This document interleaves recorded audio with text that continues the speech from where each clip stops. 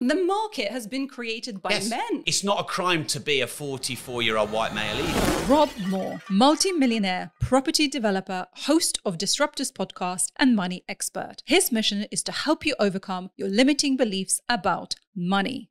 There are about 25 million men that would say Andrew Tate is good for society. And that terrifies me. Is it not good for people who want there to be less of a gender pay gap that someone like Andrew it Tate is doesn't- yeah, it's in? good, but not when you're denying its existence. You're always going to have two sides of an argument, aren't you? Well, and surely did- you want people wading in. Him wading in, whether you agree or not, all of a sudden, 20 million people are discussing it. What do You you think about feminism? Ooh. Why are you obsessed with money? Most people do not know anything about money. I'm not going around judging anyone who's broke and happy. What I'm trying to do is educate people who are broke and unhappy. I'm here opening my soul on the anatomy of a leader, saying, bring it. In this episode of Anatomy of a Leader, I grill Rob Moore. Well, he did ask for it. He gets very heated. Even the camera stops working when we discuss Andrew Tate. Spot the moment when the camera stops working, write down the exact time in the comments below, or leave a review on Apple Podcast. Follow and subscribe to the show, and I will pick a winner and send you a copy of Rob Moore's book, Money. Oh, and at the end, he hands me some cash. So stick around to find out how much I take from him. Rob, Yeah. Welcome to Anatomy Hello. Leader. So good to have you on the show. Take four. Take four. Yeah. Yeah, it's great to be here. Thanks for inviting me into your home. It's lovely. Thank It's you. got character and history and it's lived in. Is that just a nice way of saying it's messy? No, So what makes it lived in? character. The sunglasses have got their own place. The shoes have got their own place. The toys have got their own place, though they've got a little bit of a mind of their own. Yes. And and maybe 20 minutes before we turned up, it was all shoved in there. Very observant of you. Mm, Thanks for inviting me here. No, my pleasure. Because you are the property entrepreneur, I guess all of these small details are like very telling to you. So you pay attention more to that. Would you say that? Um, well, when it comes to property, that really was my business, and that was how I made my, I guess, what you could say, my fortunes or my empire. So this is a home, not an investment property. But um, I love going into other people's homes. I don't do it much because I'm not particularly social, and I'm not just going to knock on people's doors. But you know, most um, podcast interviews I've done, I don't go to their homes. I actually think it's fascinating that um, you've got your studio here. I mean, what if you had a really awkward, weird interview with someone and they're in your home? Well, I did think about that because when Harry messaged and said, "Oh, you know, we can't." Rob might be a weirdo. I've never seen him. He's not on social Hey, media. what? Me? No, him. I'm all over the place. no, you are. But how would I know that he's associated with you, right? So sending my address did feel a little bit. Yeah, don't worry, we won't save it in SatNav.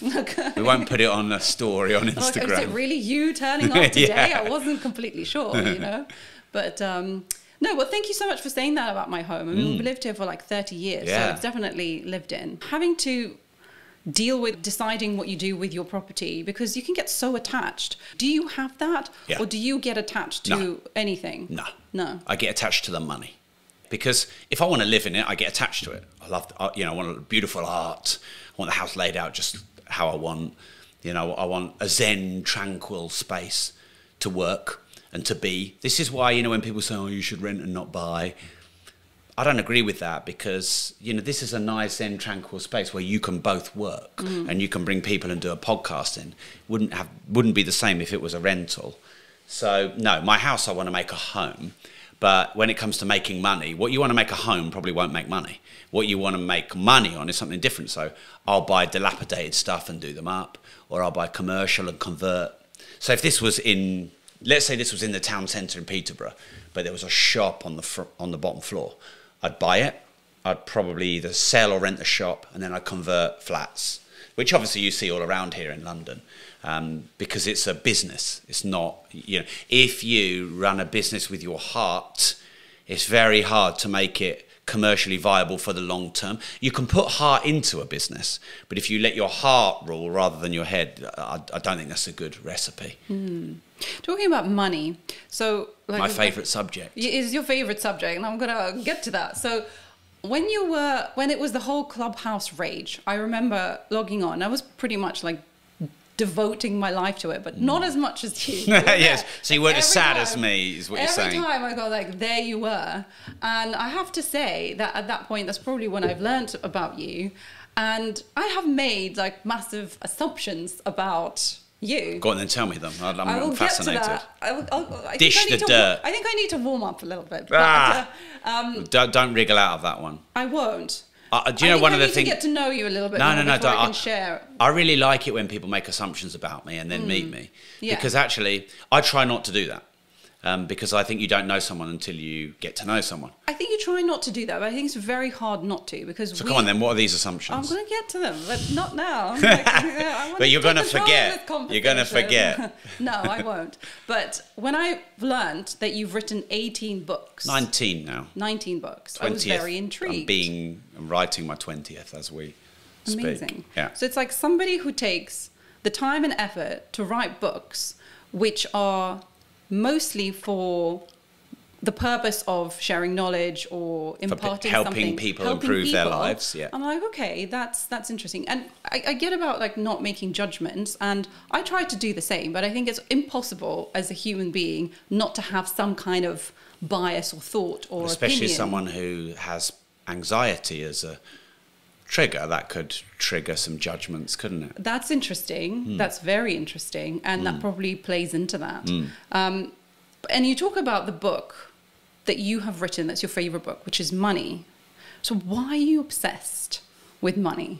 This episode is sponsored by HVO Search, a specialist executive search and talent advisory firm helping founders, CEOs, and HR directors hire the most in demand and best C suite talent. Tired of seeing the same old CVs and uninspiring candidates? Reach out to me, Maria Hvorostovsky, to find out how your business can skyrocket with the best talent.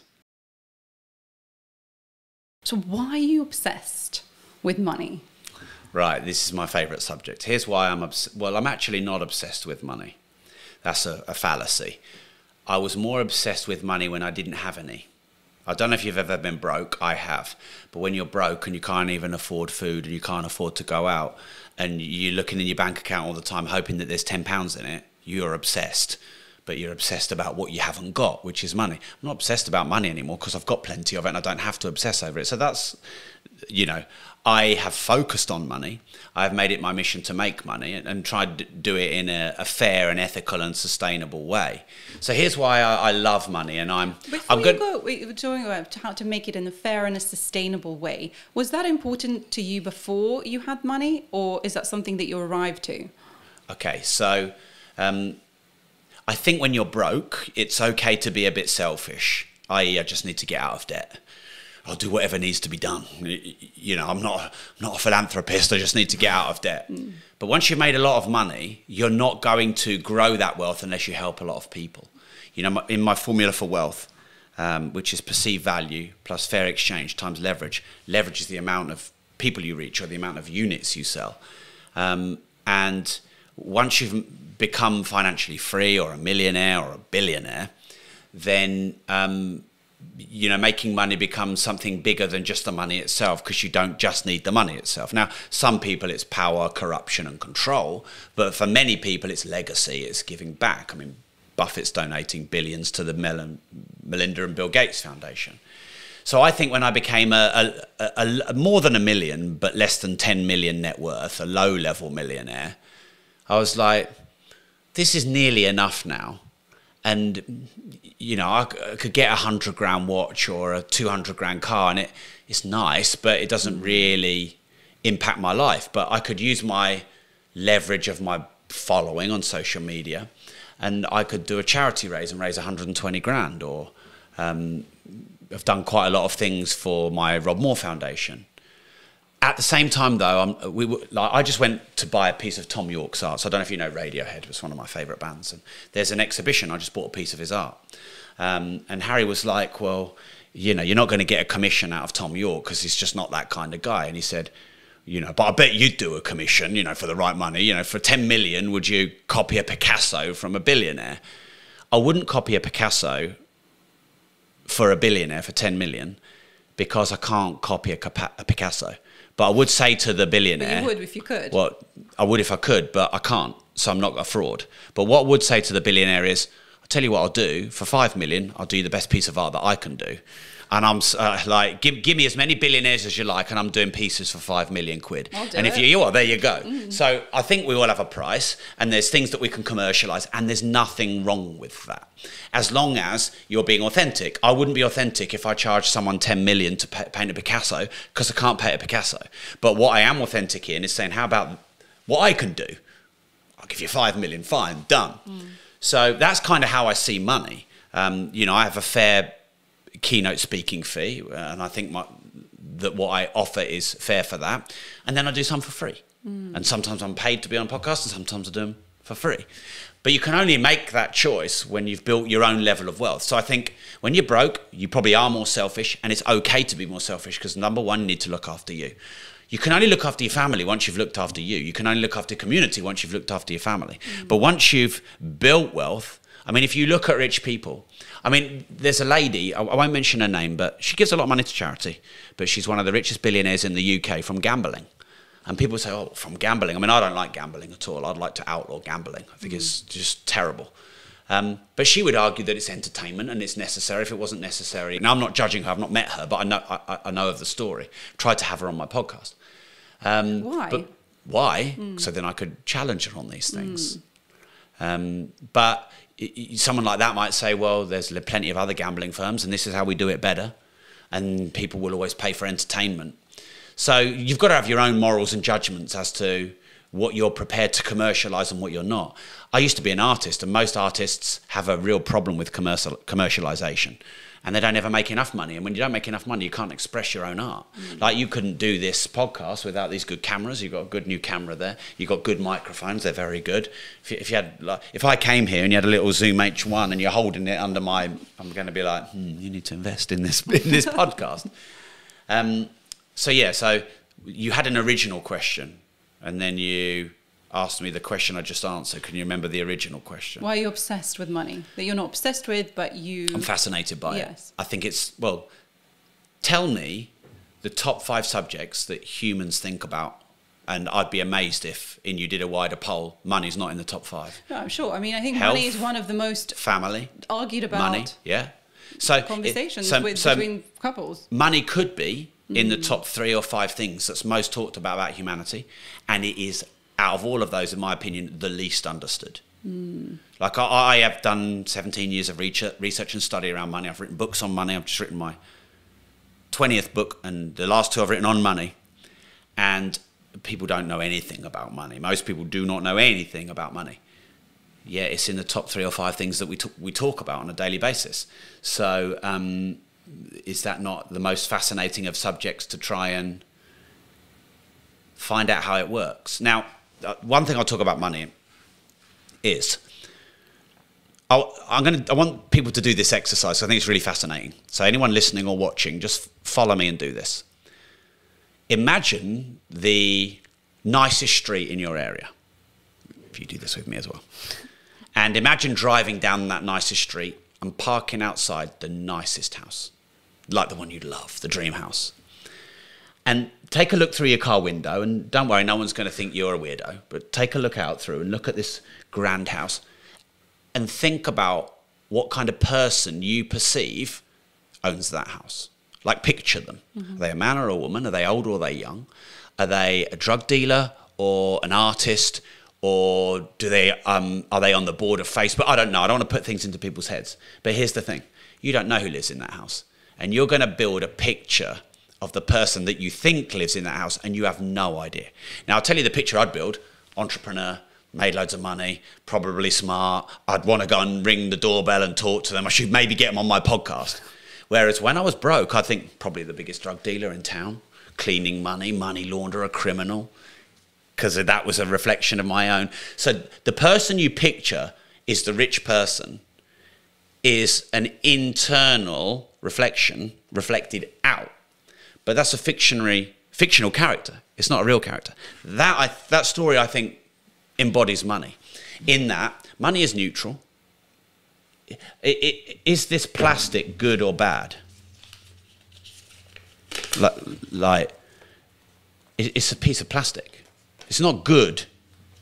If I give it to you, it's good Why is it good if you give it to me? because I've done a kind gesture. But there's no expectations. No, I mean, if I give it to you with expectations, it's not good. But isn't it all just about how we perceive humanity and our own deep-seated beliefs? Not just about Yes. money, but what it, everything that it represents. Yes. So Because if you give me something, and if I believe like, oh, people are generous, then it's like, okay, Mm. Yeah. great, and I, oh, I then you will great yeah so you will gratefully receive Yeah. And you will look at everyone like they're generous and you will send out that frequency and that vibration and you'll get that back Hmm. whereas if you're like because if i'd handed that to you and you'd have went ugh no and and scowled at me Hmm. and, and be like what do you want? What are you trying to mm. buy? I'd be like oh okay, i better not do that again. So your perception of money and how you view it this is this is neutral. This this is what you think this is. Mm. But this isn't what you think it is. That's the mm. par- the dual paradox of money. So dual paradox is anything can be good or bad depending on how you perceive it. So mm. ai good thing about ai is it could probably save a million lives. Bad thing about ai is it could probably take a million lives. So this i could give to 20 poor kids in the third world with genuine intent and i could probably feed them for a week. Mm. With this one, I could buy a magazine of 20 bullets and get a gun and go and shoot 20 kids in a school. Wh- wh- which money isn't any of those things. It becomes what I project onto it. So I use the, the analogy in my new book, Money Matrix, about a hammer. So if I put a hammer on the table, you probably wouldn't judge that hammer. You know what that's for. Oh, there's a couple of pictures there that look like they, they need putting up. But I could take that hammer and smash your skull in with it you wouldn't try the hammer and you wouldn't judge the hammer and you wouldn't say hammers are the root of all evil. It would be me who would be uh, uh, in front of the judge and the jury. Money's like a hammer. A hammer's really good at nailing in a nail and lev- leaving one out. It's better than your hand. This is good at going to Pret a Manger or um, where's it we went, Harry Leon, and getting. Oh, man, I've got a delicious fish finger sandwich. I like. I'm a sucker for a fish finger sandwich. I paid seven pound fifty for a um, fish finger sandwich. Now imagine if I had to try and barter seven pound fifty's worth. I had to go go into Leon and go, ooh, I'll do you seven pound fifty's worth of a dance, you know, to try and get this. It's not not efficient. So this is a tool like a hammer. With a hammer, you can smash someone's skull in, or you can go and create a beautiful piece of art and go and use a hammer to put it up on the wall and give someone joy. This is what people don't understand about money. They think money is what they are, but money is what it is. So if you want to change what money is, you have to change what you are. Why is it important to you to teach others that money is neutral? Um, I guess because I was broken and I've been rich, and a lot of people judge the rich. But um, Why did you judge the rich?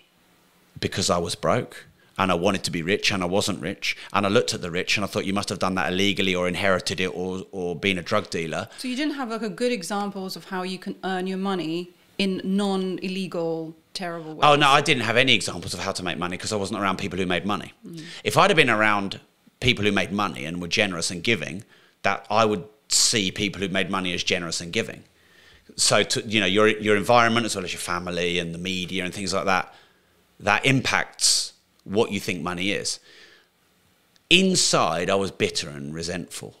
I knew that I should have been an entrepreneur. I knew that I wanted to make money and I knew that I could, but I'd failed in my life in that, that department. And so I saw everyone else as a success, as lucky or done it illegally because that made it okay for me to fail inside. And uh, I'm a bit ashamed about that. And I'm really glad that I've changed that about myself. So because I've changed that about myself and I like myself better and my life is better for that change, why would I want, not want to share that with other people? Also, I mean, if, if the whole of society knew this and I was the last to know, I wouldn't need to talk about it because I was the last to get it. But no one fucking gets it. Like you hear people say all the time, well, money doesn't buy you happiness. Buys you nice cameras, buys you a nice microphone, buys you a nice school for your kids. I so mean, I don't believe that money doesn't. a lot of people do though. Uh, They do, and there's all these studies saying, oh, after seventy Bullshit. thousand pounds, that you're no longer happier. But what, happiness, and I love what you talk about happiness, as in it's an emotion. It's part of a range of emotions that we experience. It's Mm. not just a stand like, oh, I'm happy and now I'm happy for the Oh rest yeah, there's of my probably life. there's dozens of happiness emotions. You're right. There's right. different ways of being happy, and I think one of the first and times, one of them is to make a lot of money. well, I mean, it's the thrill, it's the dopamine hit. It's, It's, more, more than a dopamine hit. Well, you, Yeah. know, you, you you are a better judge about it than me. You have more money in the bank than I do, so you know I'll take it from you. Mm. But you know it it does help to you know buys you safety, it buys you security, it buys Health. you health, it buys you time, it buys you a lot of things that make you happy eventually. So yeah. I'm or make you your life that. easier. Yes. And so, therefore, you can focus your anxieties on other things. Mm. Because money doesn't take all your problems away. In fact, money sometimes makes bigger problems. I- I know this. Um, but when you don't have to worry about money, you can focus your anxieties in important areas to you, like your children, like your career, Mm. like seeing the world before you die, you know, all these kind of things. But, you know, you say that you don't think that money doesn't buy happiness. But I mean, in, in the Bible, it says that um, the love of money is the root of all evil. No. Humanity is the root of all evil, not money. This can't be evil. It's not conscious. But it's what people do with it. Yeah, so it's the human, not the money. Yes, true. But So the when Bible you, was wrong. You're a person who doesn't have money, and you watch how you know revolutions have been started over small things like that. But you Mm. see somebody who large groups of people who don't know how to get it, who don't understand it, who resent it or see it as something terrible because they may see the rich and it's like, well, why do they get to have that? And then also, you know, showing their flashy cars, driving those Ferraris that you're resentful of, or, you know, going on these holidays and yet not contributing to the rest of the society. So you are involved So did you say that people buy all those things and don't contribute to society? I'm not saying they don't. well, they do by buying all those things. The government controls the flow of money Well, from the rich to the poor. So people like to blame the rich, and the government like people to blame the rich. It's the government that distribute money the worst because taxes Mm. is money distribution. So my question is, do the rich have an obligation to make sure that some of that wealth is distributed downwards? That's a good question. I've not been asked that before in that way. Um, I think to a certain degree, yes, but they already do. You just don't know it. And let's use me as an example. I pay millions of pounds in taxes. Taxes is wealth distribution. I am already distributing millions of my pounds from my own coffers down to the recipients of tax, which is everyone else. Um, but here's the problem the government managed that money really badly. So the mainstream media and the governments would love the rich to be blamed. So it's a distraction over there. It's not the government's fault. But if crime is high, the police is so underfunded, the NHS is drastically underfunded. Do you know basically um, theft is basically legal now because only one in 40 thefts actually come to a prosecution? Do you know there's so much rape that goes on that is basically legal now because it doesn't get properly investigated? I am paying my taxes to redistribute my wealth that I fucking earned and gave 17 years of my life for to trust the state that it will distribute it, and it doesn't. And I have to pay for the NHS. I, I've got a, a, a little. I've got some numbness in parts of my body at the moment. I'm a bit worried about it. I just want to get it checked. Um, it might be nothing, but I have to go to private to be able to get that checked. And someone in my organisation, she passed away through lockdown, and she probably wouldn't have if she could have got in a hospital, and that angers me. So every time, like, I'll spend money all around here, and um, so when a rich person goes to a new city, because you know you get tourism, you get money from other countries. Well, anytime a rich person goes through any town or city, they're throwing money all over the place. They might not be going, oh, here's 200 quid in a donation, and I'll go, where are all the homeless people? I'll give them a million pounds. But they're buying clothes and they're buying watches and they're buying art and they're buying fancy cakes and, and everything else. Um, so that is also a form of distribution of wealth. So the rich people distribute wealth already. They're not given the credit for it and they do it better than the government. Could some do it more? Well, that's up for debate. I mean, Warren Buffett is giving away billions. And it's easy for someone to sit and go, yeah, but he's worth 300 billion and he's only given away 100 billion and he's got 200 billion left, so he should give away another 200 billion. No, you go and fucking earn another 200 billion and then you give it away. Mm. And what are these people who are judging all these rich people doing? Nothing. They're, they're being trolls on, on social media. So, uh, the, the, and also don't forget how the rich people pay or don't pay their tax is supposed to be regulated and controlled by the government. If you were a billionaire and you could pay 4% tax or 20% tax, which one are you going to choose?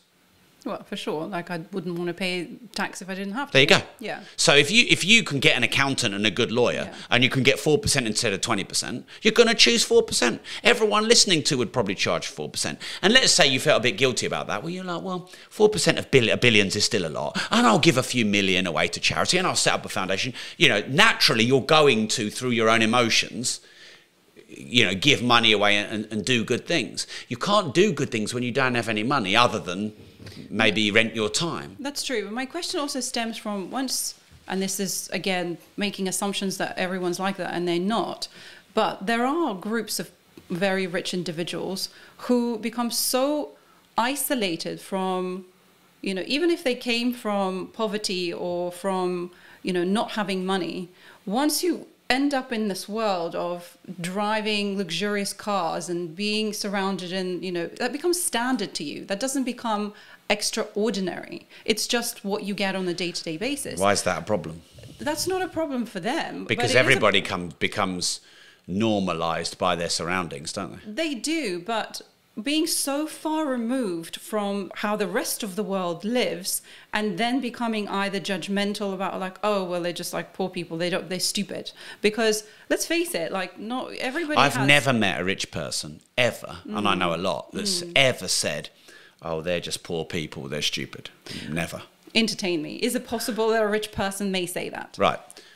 Um, it's possible. It's yes. possible that a poor person could say that the rich is a hoity-toity upper class snob. Yes. Neither of the neither of each actually really know each other. No, but the more you get separated into these categories, the more you don't understand each other.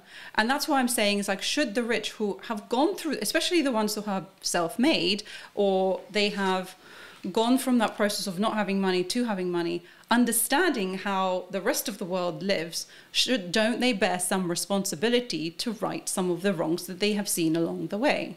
Because does it matter which way you make money? Like, are there things that you shouldn't be doing? Well, to me, it matters. To, right. I think it matters to anyone, and they will justify why they make money. I make money through training and education and information, and I think it's a hugely v- beneficial to society way of um, me making money. But some people say, oh, yeah, but you can just go on YouTube and, and, borrow a book off someone and go to the library.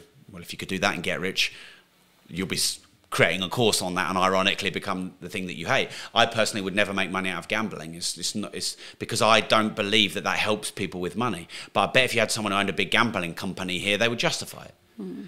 So um, I have my own ethics and morals. You have your own ethics and morals.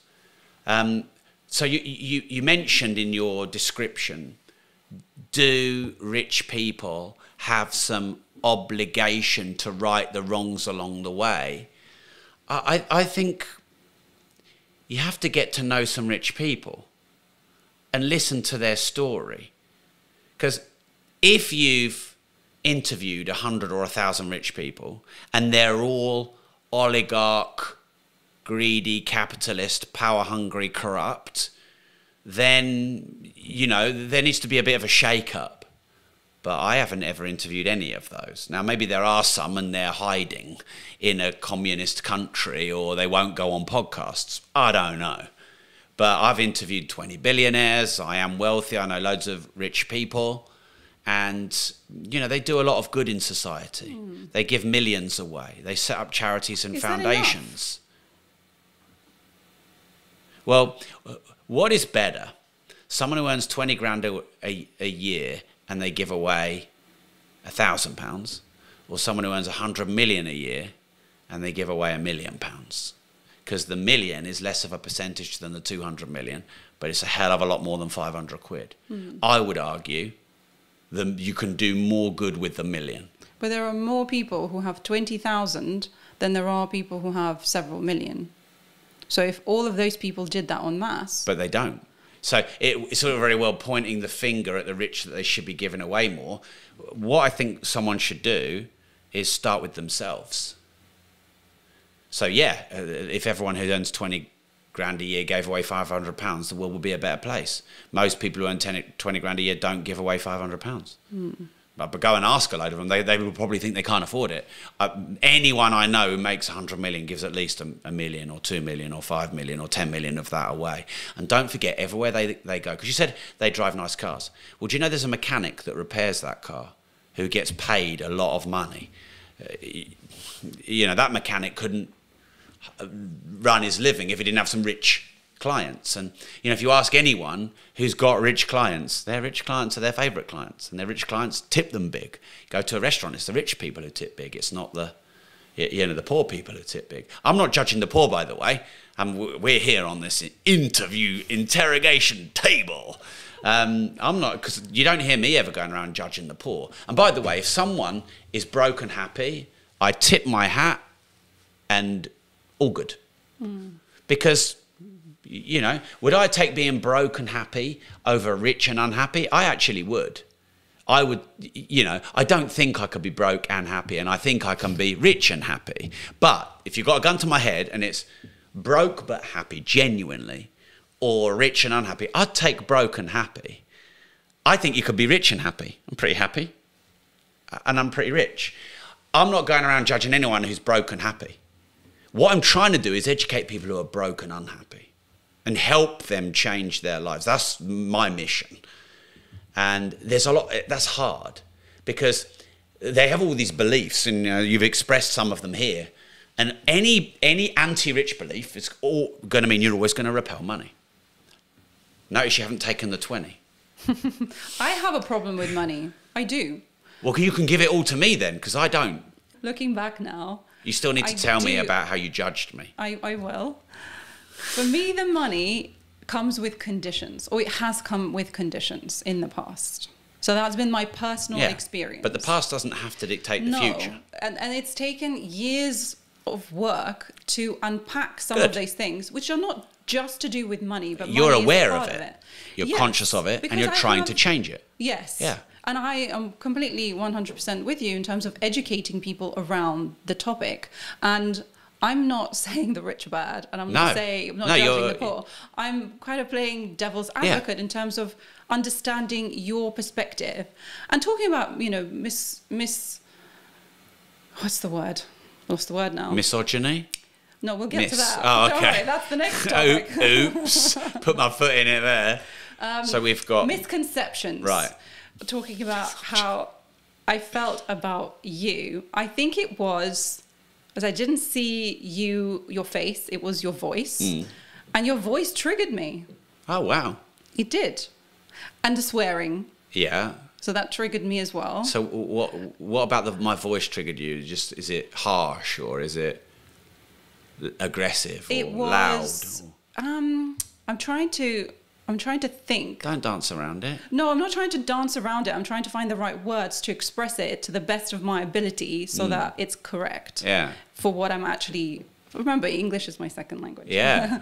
um, it was triggering me because I felt that you were almost shouting at the people and trying to convince them of a certain point of view and swearing. And I didn't listen to it that much, so I didn't really get into get involved in the conversations. And I don't remember precisely what you were saying. But then when I went and I was watching some of the YouTube videos, the podcast, and some of the conversations that you had when people do grill you and do challenge you, what you say is more in line with my values than how you say it. But I think, you know, in person, you also come across as different hmm. than when you come across on the screen. Yeah. well, well, it was an audio. It wasn't even like you said. It wasn't even a face, was it? Exactly. Yeah. I mean, I'm always fascinated by those first impressions. I don't really have a problem with that hmm. because it's something that you noticed. And I'd rather you notice me than you didn't. And I also know it's not, it, I am that? me. Why is that? Yeah. Why Well, do if you, you want to be don't- noticed? Well, if you don't notice me, I can't come on your podcast, can't get my message out to people. We can't possibly collaborate in the future. You know, I know you've done a good couple of hundred episodes, or maybe you might bring me back on your 500th if this is, you know, really well downloaded. We might see each other at a podcast show sometime, and we're going to, you know, we've we've started a relationship, a collaboration, or whatever. But if you don't know who I am, that can that can never happen. so does it does it matter how you get attention? Well, I, I don't. I'm not being me just for attention. I'm being me because I am me. So it's not deliberate, is what you're saying. That's just how. I'm being me. Yeah. Well, well, I am definitely being me a lot more now at age 44 than I was age 35 or 25. Here's the irony: I was most confused about me at ages 14 and 21, um, and I was probably trying to be much more of something than I wasn't. But I used to hate that about myself, but I don't now because we're all trying to find who we are. Mm. And I, I don't know how you felt as you, you know, moved from 20s to 30s, but I'd probably say in my 30s, there was really good discovery about who I am. Mm-hmm. And probably between, you know, the late 30s and early 40s, I'm like, I'm actually quite happy and content and comfortable. I'll give you an example. I don't like the way I sound. You know, if I were to if I were to listen to myself back on this audio, I would not like how I sound. I would much more like to speak like this. And my daughter, she speaks so well. She's so posh and she speaks like this and daddy. And many times I've thought I should try and practice speaking differently. But it's just not me. Mm. I am me. And so swearing is I'm not trying to trigger you by swearing. I'm swearing. I've sworn a couple of times in this episode. It's up to you whether you um, beep it out or not. But I'm swearing when I'm passionate.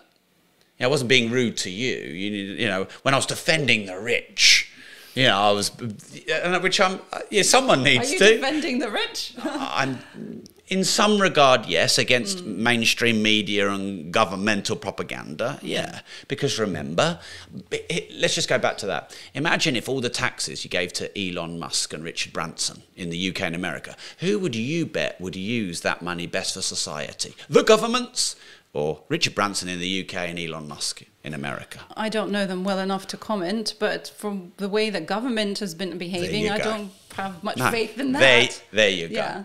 Yeah. so um, how you judged me, um, like, yeah, I would rather you judged me than you didn't know me. I mean, would you know? Is the soft, nice, cuddly, fluffy side of me want everyone to like me on first instance? Well, yeah, but You that's said that you. that's o- that's only an insecure version of me who doesn't know themselves. Like you know, you meet people and they're just like your best friend straight away. You should smell a rat because they're probably a narcissist. So I'd much rather re- meet someone. I'm like, yeah, they're authentic. Rather than oh, love you, love you, love you. And, and I, you know, I was authentic on Clubhouse. I really was. I, I didn't ever come out of a room thinking, ugh, I've made my skin crawl there. I didn't like who I was. I mean, sometimes I was testing racy headlines, and sometimes I was having a discussion and debate with someone, which I like. Hmm. But you know, I would rather you get triggered by me and remember me for being who I am than like me for someone I'm not. So I- I- I'll take that. We're here. We're now. Yeah, I'm actually one of my favorite questions, which you use in your podcast, is like I don't remember exactly how you phrase it, but how I phrase it is like, what misconceptions do people have usually about you? So what's that? Um, I think that they think I'm maybe a little bit more mercenary and capitalist than I actually am. What do you think gives people that impression? I'm the guy that will talk about anything about money, whereas most people in this country, they worry about being judged for talking about it. I'll give you an example. I was in a Telegram group and someone said, well, you know what, most millionaires, they're pretty humble and, you know, they drive German cars and, you know, they don't flash their wealth. And I said to him, and I was being, I was really honest, I said to him, I really respect that. I really admire someone who's got in the low level millions and is living a humble life and is not showing it off. But I couldn't live like that because I fucking love cars and I love watches and I loved them since I was a kid. I loved the Ferrari Testarossa 1987 and I bought one. And that's just not me. And to be able to like be authentic and be honest. Like if you ask most men if they would take 10 million quid and buy in fact, ask most men what your favorite what your top 3 cars. Your daily, your classic and uh, you know, and your hypercar and then they said, and then you said, oh, you can have them because I'm Mr. Beast and I'm giving away cars. None of them go, nah, I don't want them. No, no, no. So most men want cars. Not all, but most. But we all have passions. And some fit for some people, it's collecting comics and whatever else. But you know, money gives you the ability to do that. And for years, I was like, oh, well, maybe I should be more humble. And then social media comes along and it wants you to do clickbait. So then I'm like, maybe I should be more rah rah and blingy, mm. more humble, more braggy, more humble, more braggy. And, you, and in the end, hopefully, you find your own voice. And I do feel like for maybe eight years now, if you go back through my content, I think in the early years, I'm a bit strained. I think the intention is good, otherwise I wouldn't be here. Mm. But you can tell I'm a bit strained. Like I was much more shouty when I was younger. I was I was much more. In fact, was, all these in-your-face people now. I was kind of a bit before the time, but I don't know. It was a bit not me. So th- and then what so happened? The shouty part is not you. I mean, if you watch me on stage on a live talk, you hear me shout and rant. Well, and you're on stage. You need to be heard at the go. back of the room. I get that. Yeah. Like I come from a family of performers. That makes sense to me. Yeah. yeah. Yeah. So yeah, I'm, I'm all, all over the place. Um, and then what happened was, you know, I'd get a lot of attention, and then my business partner, my MD, and my wife are like, "Oh, you know, it's a lot of attention here. Maybe we should just calm down a bit." And you know, and they always like, tried to basically dilute me. And it lasted about two years, and basically all of them, in their own words, said, We want Rob back. So they'd sort of suppressed me. This is why it's important to be around good people. And now I allowed it. But yeah, I think, um, you know, when I was on, in Clubhouse, I think I was pretty authentic. Um, yeah, and here's the thing in, in the world of personal development, you've got my friend Mark Victor Hansen. Don't I've ever heard him swear. Lovely, articulate, very fast thinking man. You've got another fast thinking man called Gary Vaynerchuk, who's got this broad accent, accent, who's quite aggressive. I mean, you think I'm aggressive? Nothing like Gary no, Vee. I, I am nothing like Andrew Tate. What he you says know. is good, but I can't, I can't hear. There you voice. go. Yeah. But you know, maybe Gary's style isn't mine, but I know he's a smart guy, and I know I can listen to him on social media. But you know, he's he he f's and jeffs every five seconds. Like I, I, think I've only said fuck three times now and twice before. Um, so it depends. You know, maybe that you know was. Maybe I'm somewhere in the middle. I don't know. I don't think you need to justify it. I think I don't. Pro- You're I right. probably I probably felt some sort of sense of not being included if I wasn't allowed into the room and I wasn't part of the the listening. Like, and there the, was me, the, 80th followed person in the world on Clubhouse, there who thought go. he was the big don, yes. who ran the room. Yeah, mm. yeah, that's very honest of you. Well, I think that probably was part of it. I mean, that whole that whole era. I used to, by the way, bring a lot of people up in rooms and give people equal yes. opportunity because someone did that to me at the start. Right. I didn't know how to use Clubhouse, and I was just in a in a random room, and someone brought me up and said, "All right, mate." go talk to people. He was an American guy called Farok, who you know I stayed in touch with, and I like I remembered that. So I always tried to do that. So forgive me if I didn't do that with you. That's okay. You probably did at one point. It yeah. probably wasn't enough for me somehow. or yeah. I was feeling really down and wanted to get that sense of in, importance. In an anxiety mode or whatever. Yeah. yeah. Talking about clickbait, what have you learned in terms of how far is too far? Well, Harry, my producer over there, um, there is no too far. Right. Did you hear? I, I hope you pick up that little that you got in the background. Like he, our most clickbaity baity content is the one that's done the best. David Icke and Jordan Peterson and Andrew Tate and Katie Hopkins. Um, I had a brilliant conversation with Matt Goss about this. He, I, am I'm, I'm going to have lunch with him tomorrow. He was on my show, and it was a, a, a lovely conversation. He's a lovely man, um, and and he was like, "Look, Rob, just you know, this is just just do this justice. Just you know, be kind. So it's basically like don't put some cheap clickbaity thumbnail headline mm. over. I guess he would see it like as a beautiful painting that you just slapped some random paint on and you're ruined. And in some ways, I'm a bit. I'm an artist at heart. In my old days, I was an artist, so I feel the same. I, I want the conversation to be quality. That's what I want. I would like you to leave thinking that was a good quality conversation, even if you've got more judgments than you have answers. I don't mind. Hmm. But unfortunately, that doesn't sell. What sells it is the thumbnail and the headline. So I, I regularly have this conversation on my podcast with especially arty creative types. In you know, the art is the piece of content. This is the art form, and the gimmick is the thumbnail. and you know, and the Rob Moore tra- trashes my house. Um, or I mean, because Harry sometimes he puts headlines in, and I'm like, mate, that didn't happen in the episode. All right. So just blame Harry. Yeah, yeah. Okay. It's great to have a Harry. Well, you you can you've got you can you can blame your My husband, yeah. yeah. Um, but yeah, sometimes I say to Harry, that didn't actually happen. And he's like, but we need the clicks. Yeah, but we don't need to be desperate for the clicks. But I have got a lot of really good content out there that's not got many views, and I've got some stuff which I would deem a little bit more tacky that's got millions of views. I don't have the answer to that question because let's say you're an artist. Um, the art is the piece of art. The clickbait is how many people come and look at that piece of art. Yeah. If you have no one looking at the art, you've, you're doing, you're spending all this money and time on podcasts. I mean, there's two of you here, and you've got all this equipment, thousands of pounds. If no one listens to this podcast, it's it. No, It's like, do you exist? well, exactly. Well, Yeah. nothing exists in a vacuum. But Everything dies in a cost? Like- vacuum, including podcasts. If no one listens to a podcast, it will die. So um, let me ask it back to you. How far would you go on the clickbait? Uh, not that far. I've been scared to do that, and that's probably resulting in less Probably of a held growth. you back. Yeah. It probably does. I think it's something that I need to learn more about in terms of how can it be truthful to what's really happening, but also it's the art of storytelling. It's about how do you express what's really going on, what's the most dramatic point of the video. But I also think podcasting and YouTube is a long game. So if you're putting in things that didn't happen, eventually people will stop believing you. It's like the boy that cried wolf. Hmm.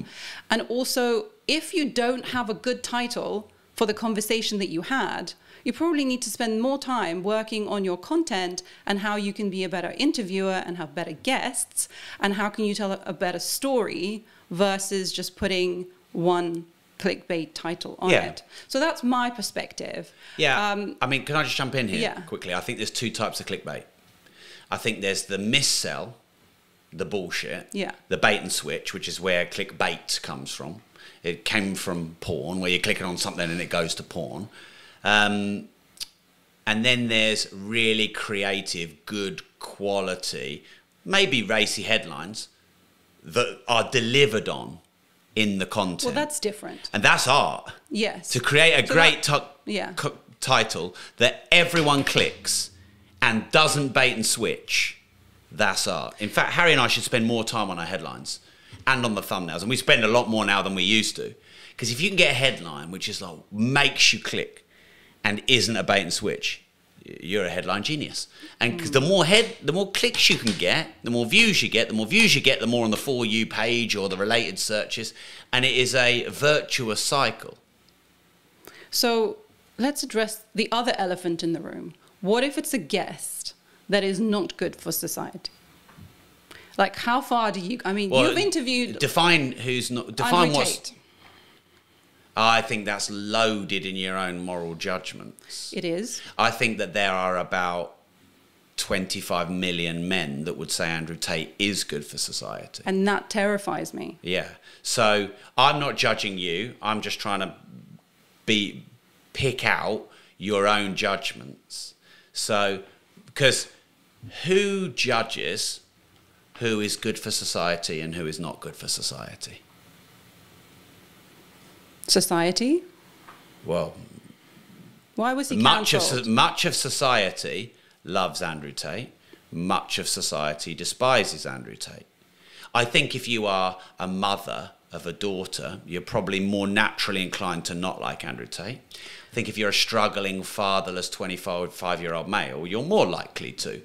so um, why do young men like him? Well, now let's go back to your first question first, because I don't think we've finished that.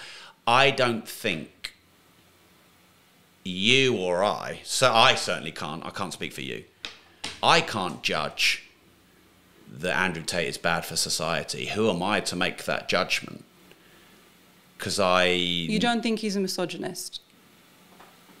Well, Do you think he is a misogynist? my personal experience of him, I've had a lot of personal experience with him. I know him, message him quite a lot. I don't know how much personal experience you've had with him. Um, my guess None. is none. So, so um, I have never seen any misogyny from him. But why would there be misogyny with me? I'm Wait, not wait, a wait, 20 year old. Wait, wait. I'm talking about my personal yes, I've watched the experience podcast with and I've him. heard with him. Yeah. So, And- so, so to answer your question, personally, I've had no misogyny, but why would I? And But I did from your podcast. okay, well, we can come to that. Don't worry, I'll talk about anything. Let, let me just sort of. I think the nuance is really important here. I think because I do, and I'm your guest, so just bear bear with me on All that. right. And as you're the host, you can disagree, but let me get my point out first. Um, so my experience has only been good from start to finish with him, and that's what I'm going to judge on. Number one. Now, by the way, does my wife think the same thing? No. So if we need to open that, we can. Um, at the moment, So hold on. Yeah, so you're- now let me get to the personal- trial bit. personal experience. So let, talk me through that. What does that mean in terms of how he behaved towards you, in terms of the qualities that you see in him that align with yours? Well, don't forget, all I've done is met him, interviewed with him on a podcast, carried on talking to him. He's messaged me a few times saying that he likes some of my guests on my show, and we're talking about a second interview. So that's as far as I've done. I don't go over to his house every weekend. I don't body spar with him. I'm not, you know, one of the, one of the guy. I'm not one of the killers. Uh, I, if I'm ever around anyone in, associated with Andrew Tate, I always smile on the videos because they always don't. So I'm still me. I'm, you know, but like I'm not scared of an association with him because I am not society and I'm not going to morally judge. Now, would I be concerned of a um, an association with Jeffrey Epstein? Of course I would, but I think that's proven. Andrew Tate is, it's, there's no proof yet. And, and like, if you were questioned about something and you were on trial, but there was no actual case, you know, and there was, then you would want a fair trial. And is there actually a case being presented here or not? Because there still isn't any, there's still not been any charges. Now, look, could therefore some of my people think, well, there's going to be a bit of egg on Rob's face if he does convict, get convicted of those? If he gets convicted of those and there are proof, then I might change my stance. I, I probably would change my stance, to be honest. But I'd have to wait and see what they are. But I'm not judging until they are. But as of yet, there are no charges. And I like to think if I was accused of something that I didn't believe I was guilty of, hmm. people that knew me wouldn't judge me because there's not even any charges. Social media is not judge, jury, and executioner, but it's made itself that. Mainstream media, like BBC, you know, they're hatchet, hatcheting him, him because they want to they want oxygen like the hit jobs from the bbc were terrible journalism whether that they might have been right but terrible journalism and it was a vain attempt to have some oxygen left to survive because bbc are very irrelevant now you watch my interview with him compared to bbc's way way more I mean, I actually don't watch interviews with him, and the only reason Oh, is fair enough. because Yeah, you but know, I- but anyone doing, can. Re- the, doing research on you, and obviously he's it, okay. I'm a woman. I have heard the things he says, both on your podcast and elsewhere, and I go onto your YouTube page, your podcast, and go into the most popular videos, and there's probably at least three or four of, I mean, Jordan Peterson number one, but a lot of of him, and I think I scrolled maybe about 20, 30, and I saw three female faces. Hmm. So, because he's so popular on your podcast, it is giving him a bigger platform exactly He at the doesn't point need me. He doesn't need he do, me. but but you are still offering that to him the, the Katie Hopkins, she was. but let me let me let me let me because you know you're you're No, much more you. experienced to this and i Yeah. want to like articulate myself I hear you. Um, I think you're doing it well. Thank you. Um, he he is a person that was cancelled at that point. He is somebody who, in my opinion, encourages young men to think about women in the wrong way. To me, that is not good for society because I believe in female empowerment. As a female entrepreneur myself, it is terrifying to see that mm. somebody of that grand scale of influence being supported by people like you and other people because he is a nice person to deal with. Because, in my opinion, an individual is, especially when they have such a broad reach, has a responsibility and has to take account- accountability for their actions. So, hmm. just because he's not been convicted of whatever crimes that he's been accused of, that still he's still saying very misogynistic and very untrue things about women, both outside of your platform and on your platform. So it's like, how do you feel about that? Do you not feel like he was giving misogynistic views on your show? Okay, so first off, I totally respect that position. And I have conversations with my wife about this quite a lot. My wife's very good at giving me balance. I am a man, so I'm obviously going to learn much more about a, woman's point of view from a woman. My wife's very kind, very balanced, very logical. And we have these discussions, and you know, I don't think she would mind me to say sh- a lot of these things and more. She's raised in the conversation. She's even raised, you know, if I should think about that with my association. So there's a couple of things I want to address going back before we move forward. And um, I'm in this position on my podcast where I don't know if I don't know what, why this happened, but we have had so many really brilliant females agreed to be on the show, and then they cancel once, twice, three, and four times. And I've, I've openly talked about this, and I don't mind talking about it here, and I'll probably get some hate for it, but I mean, I'll tell less. you what, I was, I was in two minds of Yeah, in having you on the show. Okay, that- that's interesting, and obviously we'll talk afterwards whether you think it was a good decision or not, and I'll I'll accept whatever. But by the way, the, the, many of these females was way it was pre Andrew Tate, it was pre Jordan Peterson, it was when all the people I was interviewing were entrepreneurs. That none of them were in any way controversial. Because if you go back and look at my early stuff, none of the guests are controversial. They're just all entrepreneurs. It used to be called the disruptive entrepreneur. So you can see the evolution. Um, you know, we had Joe Malone. We had Hilary Devey, unfortunately, has passed away, and loads of others. And I don't want to sit here and name and shame, but they fucked us around. Yeah, come here. Oh no. Yeah, come here. Oh no. Yeah, come here. Oh no. Yeah, come here. Oh no. Yeah, no. Yeah, no. Yeah, no. You know, we had the um, Jacqueline Gold, you know, associated with West Ham, and she pulled out to, to illness when we knew she was watching the Champions League match. That's so. Uh, So in you my saying mo- that in my, women are flaky? no, I am not saying women are flaky. Rem, you know, remember, I'm the guy on this discussion that is, says that nuance is important. I am saying that on my podcast, with all the successful women I wanted to get and wanted to give a voice and had them agreed, they were the most flaky. That is what I'm saying and that's my experience, and that is a fact. And I'm not, I, I haven't mentioned half of them, and it might even be the first time I've even said their name, and they fucked us about. And you, know, you have to go places and pay for hotels and all this kind of stuff. And I've, I've so I, I, I went inside and I went, is it me? You know, have I got some projection of too much maleness? Or, and, you know, of course, many women accused me of that. But, Did they? What did they say? well, yeah, it's you, Rob. But did they say because you're too I, I, manly? Too what well, did you, you, you, you tell me because I can Mm. tell you this, and I'll say this now. I don't think I've ever said anything that's in the remotest bit mos- misogynistic ever online. Just because Andrew Tate says it doesn't mean I think it, and, and and I never have. And you can go back and you can see what's what's on the internet. And I went inside and thought, is there something about me that's repelling them? And I really worked on it. And we, do you know what we even did? we even started using my PA, who's a female, internally to communicate with them, to wondering if we were being a bit aggressive or pushy. And we could not get round it.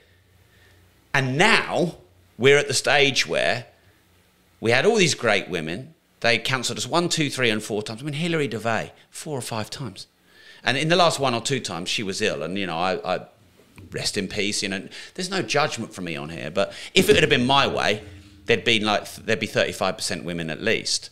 And in the end, do you know what my MD, who's a woman, said? She says, maybe it's not your demographic. Maybe you should just stop trying to get women on the show and putting all this effort when you can't. Mm. And then and then women will say, oh, but oh, come on, but they're, they're not known or they haven't got a brand. And, you know, and I'm at the stage where I can attract those people. So I tried. Now, you can always try harder. But then we've got Peterson, who's very male, and then we've got Andrew Tate, who's very male, and we've got Katie Hopkins, who's a very male female. And so now when people go on, I can understand that it's like, whoa, this is like male. Mm. And I'll, if there's anyone listening who knows anyone who's a very successful female, um, and, and, is of the, the right caliber, I will have them on my show in an instant and uh, you know I'll have whatever conversations we need to have. I'm not scared to go to those places, as you can you can see here. Mm. I'd love to do it, but if I'm taking full responsibility, we haven't nailed that. But I'm also, you know, sometimes people say to me things like, "Well, you know, but they've got kids," and you know, and I'm just thinking, well.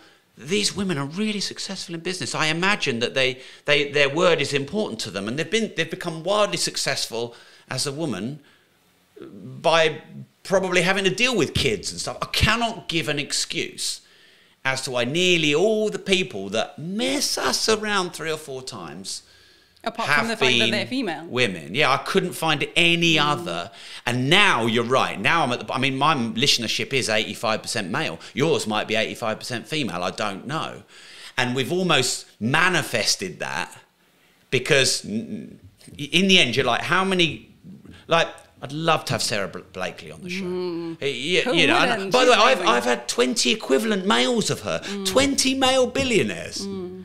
And not, we, do you know we've gone for every female billionaire? Every single one. We've got none. So I'm here opening my soul on the anatomy of a leader, saying, bring it. But I, I, I think there's something in successful women that they're holding back. What I do you think that is? I don't know. I'd love to talk about it, but I've got to get them on my show to talk to them about it. And now they go on my YouTube and they see Jordan Peterson, Andrew Tate, David Icke. I don't think you're a misogynist, but I feel that I'm not going to say like side, you know, siding with him, but I think the fact that you are supporting him by having him on your show. Well, and by not because in, in, the beginning of your podcast with him you said that you're going to challenge him. And there, i scrolled down and said you know are you a misogynist? And you asked that once but you didn't probe him further on that. Like you didn't you didn't go deeper in well, that. round round two. Well we i don't will. know if i'm going to fair enough. survive yeah, watching fair that enough. No, let, let me look. Um, i don't think he that i can remember blurted any or much misogyny on my episode compared to all the stuff he'd done in the past. If there's anything specific you yes. want to ask me, mm. I will state whether I think that's misogynistic I mean, or not. One of the things that he talks about is like the gen- well, I don't know exactly if this is word for word, but gender pay gap does not exist because women choose not to go for higher paying jobs. That's what he said. Yeah, I don't think that's misogynistic. Why not? Um, I think it's a generalisation. Mm. Uh, because I, I think if you look at the if you look at the modelling industry, uh, my guess, I'm, I, have got oh. any facts. My guess is women get paid more than okay, men. Yeah. That's my guess. I had this discussion with. I I, I want to have this discussion. Okay. I had this with my wife. We had a really good discussion. We she came from the gender equality. I came from a different perspective, and I think we met in the middle. Let me tell you what I think about this. I believe in value equality. So if you bring more value than me, you should be paid more than me. I don't care what your gender is. If I bring but more value, value than you, value is not an absolute. No, it's it's perceived by the market that you're in. Yes, and the market, the, the perception of the market is based on what society believes to be valuable at that time. That is a market. And if a society is patriarchal or has more men seated in the leadership I mean, it- positions, that is Yeah, going to yeah. dictate Yes. what is valuable. Yes, it- a woman ta- it staying evolves. at home and taking care of the kids is less valuable than a man going out to earn a living. Well, not necessarily, Well, because that man might give half, you know, spend half of his money on his wife. Yes, but that's not always the case. No, it's not, but, it, but it is often. It's it- it much is more rare in reverse. But it's not that rare for it to not be the case. The, the thing, the thing I think with the thing I think with, value argument, in my opinion, like oh well, you know, male footballers should be paid more because there's more of a market, and female footballers should be paid less because well, no women which watches them. Well, it's not been the right thing for women to watch sports. Why? It's not the women that decided that necessarily. I don't believe Yeah, that. well, I mean, I think and that- the same thing for models being paid more because, well, you know, they're female and the male models get paid less. Well, the market has been created by yes, men. yes, It's been created but by but men. yeah, but but I, I'm- I, I don't really include myself in this because remember, I believe value, Hmm. and I don't care what the sex is. And I, I uh, by the way, I practice what I preach, and I hire more men than women. And there's reasons for that because they have fundamentally different set of skills to men. And as a recruiter, I'm sure you would know this, which I think are valuable in build, building a company. Um, the, the football discussion is a good one because um, I don't think that um, the captain of England or Spain currently should be paid as much as Lionel Messi. But I think that women's football is doing a great job of showing us what value it has. I mean, the, the British team are probably a bit more entertaining than the men's team. They went, got to the final, and things are changing. And so, in that regard, there is progress. Progress maybe we've not had in society for a long time. And there's a lot more, as you say, patriarchal, matriarchal influence. I don't care about whether it's a man or a woman. I care who's bringing value and is that value useful to society. But here's the problem I'm not the judge of that. If, if I own society, there would be no gambling. But then it would probably be done illegally, wouldn't it? It wouldn't necessarily, but like that's my, my judgment. In my company, you get paid the most if you offer the most value, and most many of our senior um, people are women, and we're very supportive of their matriarchal needs that, that men don't have. So uh, it doesn't trigger me um, because I also acknowledge I'm not a woman and I've not had the same suppression as a woman, maybe, but I can't. It's not a crime to be a 44 year old white male either, which a lot of people, you know, think that I am Satan because I'm a 44 year old white male. I, I, I wasn't given anything. I employ a, a lot of women. I try and be fair. I try and think about equality, but I, I have my own vantage point. I acknowledge to you, if I was the mother of a 15 year old girl, I might perceive Andrew Tate in a different way because I have my own lens. I have never said anything misogynistic. I don't think talking about the gender pay gap is misogynistic. I actually think it's, is it not good? For people who want there to be less of a gender pay gap, that someone like Andrew Tate doesn't- is chirping yeah, it's in. good, but not when you're denying its existence. Yeah, but the thing is, you're always going to have two sides of an argument, aren't you? Well, and surely you want hmm. people wading in to because him wading in, whether you agree or not, all of a sudden, 20 million people are discussing it that weren't before. Is that not good? No, I don't think it's good. Well, would you rather not talk about it and suppress I'd it for another hundred years? No, I would rather if it's in an interview situation when he's saying that gender pay gap doesn't exist, and at the same time he says, well, people don't research and don't go deep into the subject and don't look at all of the facts. Well, he hasn't gone into the facts. So you, as an interviewer, have a duty to push him on that and maybe you know try to get the other side of the story and that's my opinion about Yeah, that. of course. And I, I, the thing is, you would interview him very differently to me. You would have a very. wouldn't you- interview him. Well, no. Let's hypothetically Hmm. say you would interview him. You would interview him very differently with a very different set of questions based on your own beliefs and personal experiences. I'm always open to be asked to ask Andrew a question, and if there's anything anyone thinks I'm missing in my interview questions, send them. Uh, Put them on the YouTube videos. Ask me to ask them. I I often do, and as you know, it's not always easy to come up with really good questions. So I'm look, I'm an open book, and, and, and I'll take any suggestions. In fact, if I got a load of questions pouring, that's half the work done for my for my next interview. So I'd be very grateful. I, I think ultimately, I'm aware of my own biases, and they are what I am. But um, you know, I'm not raising my daughter. I've never said anything misogynistic. Uh, uh, no one would ever say I'm misogynistic to, towards my wife. I mean, I always speak very highly of my wife. Um, and I would be quite happy to interview far more women, and I would quite be, be quite, I'd be quite happy to interview Andrew Tate, and then interview someone who's completely against Andrew Tate and throw you know the who other you should side. interview, who you should have on the show, is I think his name is Richard Reeve. He's written a book on boys, on, only boys and men. I think he's based out in the US, but I think he's British. Do you know him, Harry? Richard Reeve?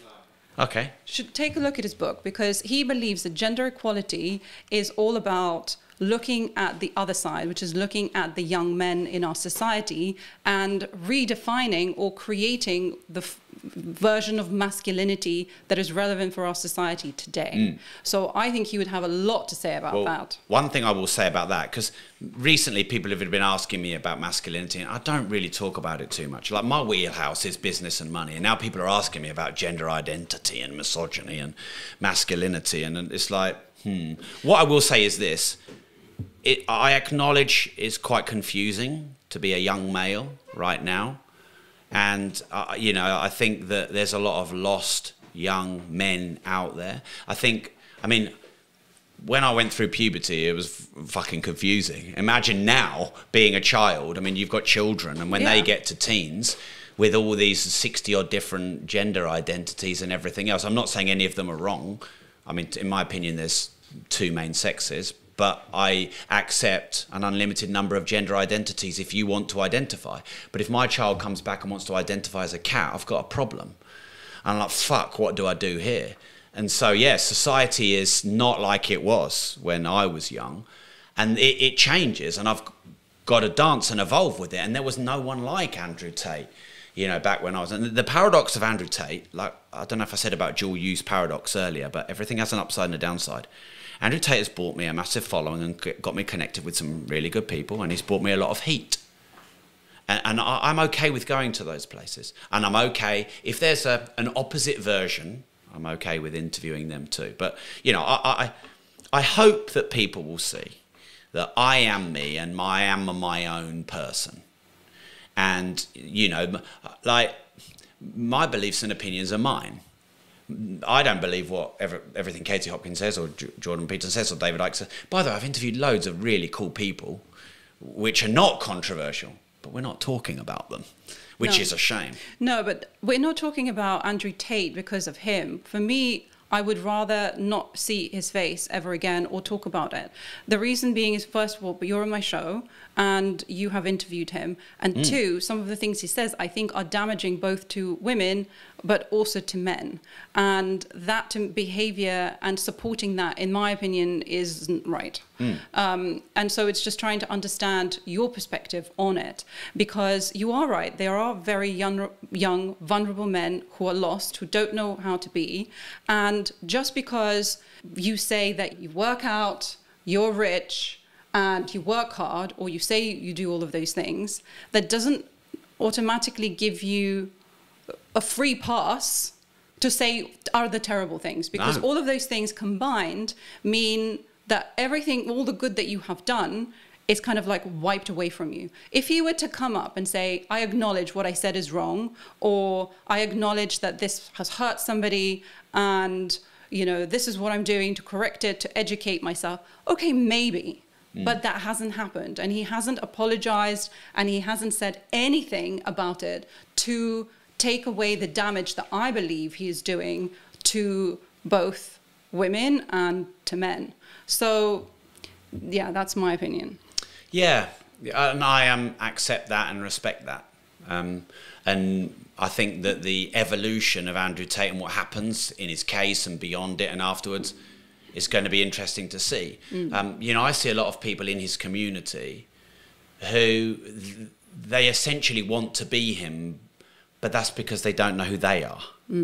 Um, and I am me, and I don't smoke cigars, and I don't go and bash people up and and you know all this stuff the, the young impressionable men are looking to find who they are and then because they don't have the father figure that they Or the want it to be father figure. or they have the wrong father figure i mean it's possibly just yeah that's just as bad isn't it then they're going to look for these other role models which i think now we're probably saying something similar and you know So yeah i like I hope I mean, he'd say that he does, but I'll just say this to him if you know if this gets to him. But I hope he really does think about his influence and the impact he's having, because he can see his positive impact. Can he see his negative impact?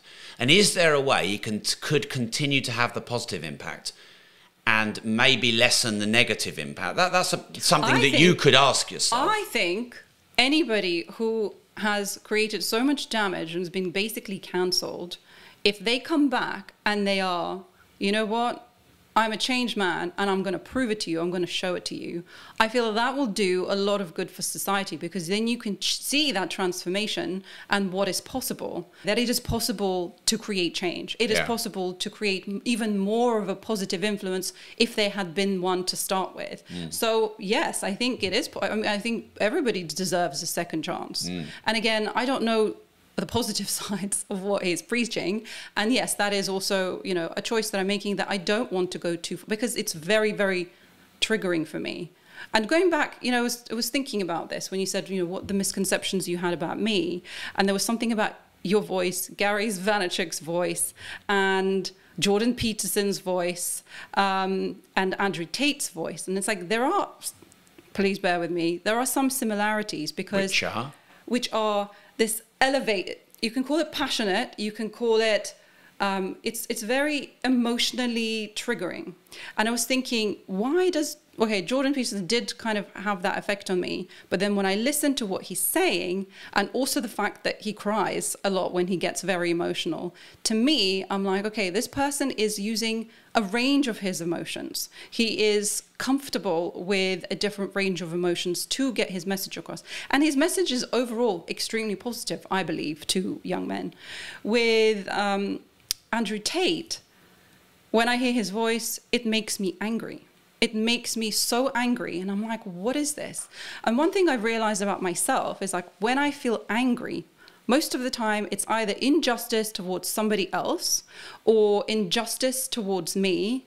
But the underlying emotion under the anger is fear. So I, it's like first it's anger and then it's fear. Fear for what will happen to the young boys, fear what might happen to young girls, and then also fear like, oh my, if I were to meet this person face to face, like I would be scared of him. As a woman, I would be scared of him. And when he's saying those things about it, makes me think, well, I don't want more men to be raised in this kind of an image. Um, and it's interesting that you get asked about masculinity, and I don't want to go down sort of, you know, different genders, but you did say something about, well, you know, maybe I'm kind of like too manly. So there is something on your mind about that. So, what is your version of the best of what a man can be?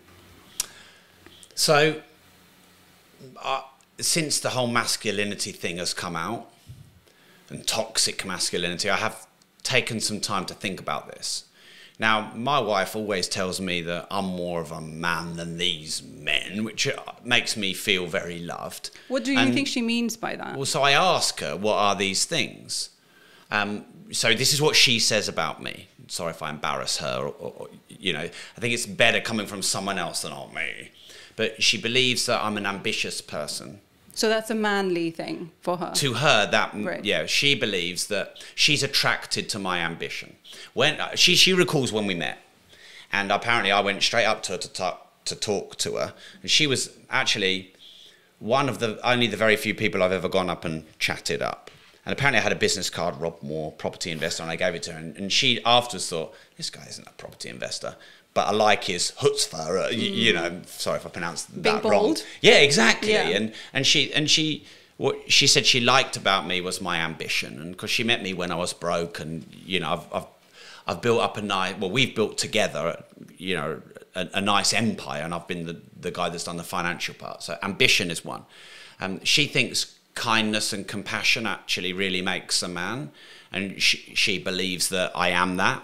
Um, she thinks someone who um, is in touch with their emotions, but you know isn't sort of weak and flighty and a pushover. Um, so she she would see that as a, a manly manly quality. I mean, my wife's quite a practical person, so she doesn't say things like you know being sensitive or romantic, because whenever I'm romantic with her, she's like, "What do you want?" Because she's you know, she's just a It's like practical. when you give money to Yeah, someone, like, what do exactly, you want? yeah, Why yeah. are you giving me all of this, right? Yeah. So compassion, kindness, ambition. I think um, sh- knowing who you are and, and having a, a vision and clarity of self, I think sh- she finds. So this is what she Yeah. thinks of you. So what do you think are well, well, that's what she says are the masculine traits about me that she likes. Right. Obviously, there's the physical ones as well. I won't go into those. But that's her opinion. What's your opinion? Well, the reason I gave her opinion is because maybe it's more accurate or balanced. I, I, I think if you have to go on and on about you being a mask, a man, like I asked someone because apparently there's all these phrases like alpha male, and what was the mm. other one, Harry? Sigma male. And I think what is sigma man? yeah, like Okay. beyond alpha. Oh, I see. Okay. Yeah, and But I think- alpha wasn't enough. Well, so this is it, and one- it, one it- more. this makes me squirm. And it, if anyone says they are an alpha or a sigma male, that like you get triggered, I'm getting triggered. I'm not like- actually triggered about it. I find it well, laughable. Well, we're all get, we all Well, get we all get triggered yeah. about different things, Yeah. don't we? And we get triggered in different ways. Yeah, I mean, it's, I'm not going to let it ruin my life, Mm. but I'm just I'm probably am going to judge a bit. So talking about my own masculinity publicly makes me feel like a bit like I'm defining the, well, it's not about your. It's not really about your masculinity. I think my question is more about what you believe defines a man, like a good man. That's the question. Okay, what defines a good man? Um, someone who has leadership qualities, who can take a problem or a situation and make a decision without a committee and go and make positive change. Now that can also be a woman, can't it? Mm-hmm. But you know, but that that's one character trait, whether they're the leader of the family or the organization or whatever. Obviously there is the sexual and the testosterone and the energy. You know, I find it confusing and, and it's it's quite normal, but I do find it confusing when I meet women who've got very masculine energies and men who've got very feminine energies. My my wife actually has a theory on this. She thinks it's all the estrogen in the water.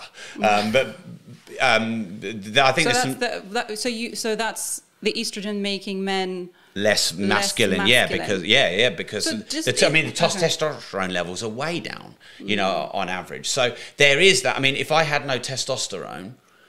Uh, I wouldn't have the get up and go. I wouldn't do the challenges. You know, I do challenges all the time. I did a charity boxing match. I'm doing a challenge right now. I break world records. I do all those things. And I'm not saying that's not a, a female thing. So what I don't want people to hear when I say this is what masculine is, I want people are going to judge and go, oh, well, if women could be that too. I'm trying to answer your question and without caveating myself. So strong leadership, decisive qualities, and you know testosterone and the male energy. Um, What is that? it's what comes from testosterone. It's what comes from biologically being a male, which I mean, is which is why when you have a transgender, there's But that could be issues. aggression, right? Because that's what testosterone provides. Well, if it if it manifests in a, Mm. well, if it manifests in aggression and competitiveness, which you would deem as more masculine qualities, then it is there. Yeah, and I don't think we can deny it. I think a good man controls those. I think what a good man does is they can be powerful and dangerous and damaging to protect, but they never use it. They choose not to. well, this is what Jordan Peterson's main point is. We talk, it's about restraint. Mm, I, It's- I, I do agree with that. It's about, like, I try and be polite with everyone. Um, I'm not a bully, but, you know, I have started to, I used to do a lot of self defense and martial arts. Um, and, you know, I did a charity boxing match and I do um, other martial arts now. But you'll never, you'll never see me start a fight. You will never see me start a fight. Um, Did you before? I've never started a fight. Mm-hmm. Never. I'm a lover, not a fighter.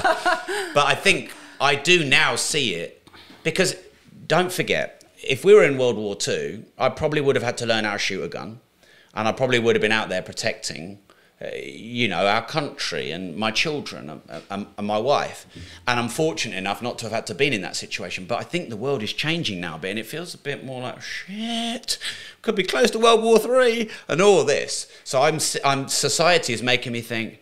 You know, maybe I should be able to protect myself and my family, and that is a more masculine thing than a feminine thing because naturally men are stronger than women. Um, and there are some people that say that women shouldn't learn how to fight. They should learn how to use their other skills. Um, because uh, uh, most people don't want to agree that men and women are different. They want to say mm. equality. But I prefer equity uh, to equality. And men and women are different. Mm. And if we're going to make progress, we have to acknowledge that. This is why get, getting men to change their gender and being in female sports is fucking wrong. It is wrong. Like, my wife says this, and again, she might tell me off, but she reckons that most men who change their gender are perverts. And she doesn't think it women changing to men. And uh, by the way, I've interviewed Caitlyn Jenner. I acknowledge there are some humans who it must be so confusing to be them. But I think there are many men who are you know, you, you can't allow this. Mm. You know, there was the man that got in the female prison and started going going mad. How the why the fuck did they allow that? How can you let a, an ex man compete in a woman's sport? So what I'm saying is, men and women are different, and we shouldn't allow men to go and compete in women's arenas. Um, but that is a highly charged subject. Yes, I mean, do you think a, a man? Who's making out that they're a woman should be able to go into a female changing rooms? I am conflicted in that. I don't have the right answer to that or an opinion strong enough because I do believe that there are people who, whether they believe it or whether it is a biological reason that they feel that they're not in their right gender. And I think there is a subgroup of people who feel and are uh, not accepted by society. And when a society groups people in male and female, you have a problem. Where do they go to the bathroom? So there has to be some sort of, and going into a male bathroom is going to be dangerous for them. So I believe that that we don't, we as a society haven't got the right solution, and the only way we can say is like you go to the female bathroom. So is there a third bathroom? But that, that's the, that's the right of one person putting the, the many at risk. Well, no, but surely one life is also important that we shouldn't put them at risk by them going potentially into a male bathroom and being beaten up.